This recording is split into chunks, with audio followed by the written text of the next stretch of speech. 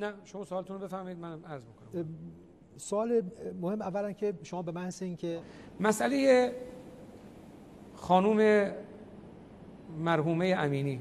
همه رو متاثر کرد و همه معتقدن که این قضیه معلوم بشه و روشن بشه. حتما همه ما با هر سلیقه‌ای و با هر نگاهی سیاسی با هر گویشی از هر جای کشور به این قضیه که باید پیگیری بشود به صورت شفاف و عادلانه این قطعی است. اقتشاش به هم ریختن امنیت کشور ایجاد هرج و مرج تعدی به مال و جان مردم به هیچ عنوان افرادی که در اقتشاشات شریک و سهیم بودن اینها حتما باید با ایشون به صورت قاطع برخورد بشه کسی نظر مخالف در یه جا داره اشکالی نداره نظرش بیان کنه